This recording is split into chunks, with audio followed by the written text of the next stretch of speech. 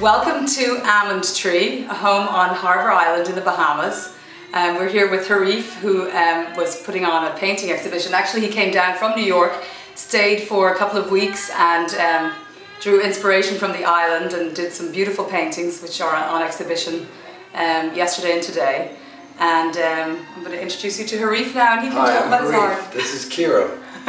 Sorry, never My said friend I met in New York, and we decided to create something down here and try to do something organic and fun. And it's been a great experience to be down here with Ciara and her kids and create a little art exhibition for everyone, and then to also combine my friend's clothing and my friend's Vince's candles and JJ and everyone's and try to start something different down here. That It's been fun. yeah, Yeah, it's been really fun. So I enjoyed. Yeah.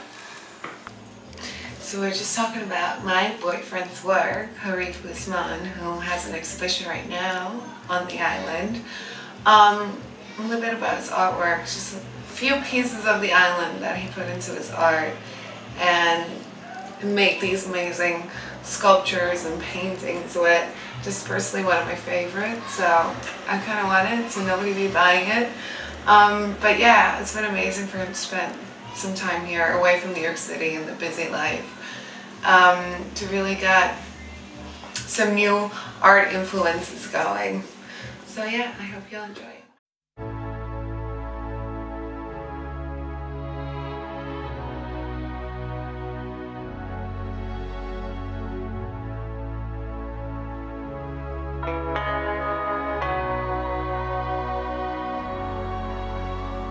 Kiss me hard before you go. Summertime sadness. I just wanted you to know that, baby, you're the best.